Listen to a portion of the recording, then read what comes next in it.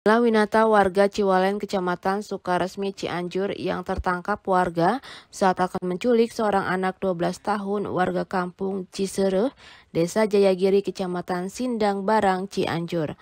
Warga berhasil mengamankan pelaku yang diduga akan melakukan penculikan anak.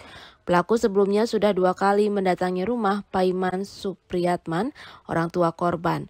Pelaku berhasil masuk lewat pintu belakang yang terhubung dengan bagian dapur. Di dekat dengan dapur ada seorang anak yang sedang tidur. Tiba-tiba terbangun dan berteriak memanggil ayahnya karena melihat sesosok pria tidak dikenal.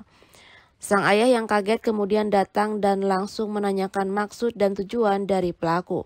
Karena takut, pelaku pun langsung kabur dan dikejar oleh Asep sambil meneriaki penculik. Warga lainnya kemudian mendengar dan akhirnya mengejar hingga pelaku tertangkap. Merasa tak puas setelah ditangkap, akhirnya warga lainnya mengeroyok pelaku hingga babak belur. Beruntung tak lama polisi setempat datang dan mengamankan pelaku dari amukan warga.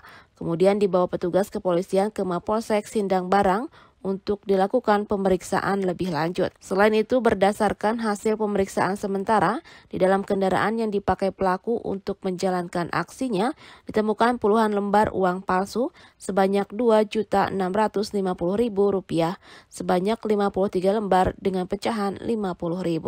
Usianya 12 tahun si anaknya, kelas 6 SD.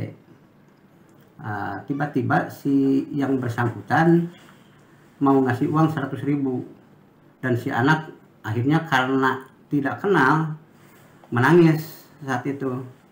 Uh, terdengarlah oleh bapaknya yaitu Pak Asep Supriyatna. Pak Asep Supriyatno langsung mendatangi uh, yang bersangkutan kemudian menanyakan uh, kedatangannya maksud tujuannya dan sebagainya.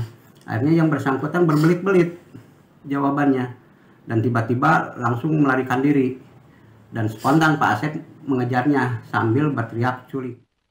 Dengan barang bukti uang palsu tersebut, polisi akan melakukan pengembangan lanjutan.